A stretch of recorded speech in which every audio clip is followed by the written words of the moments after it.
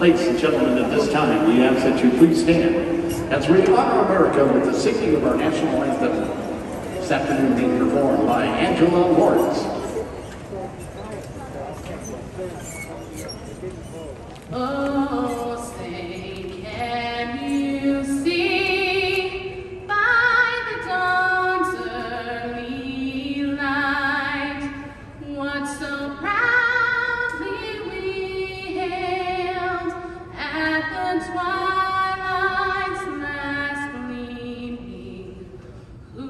broad stripes and bright stars.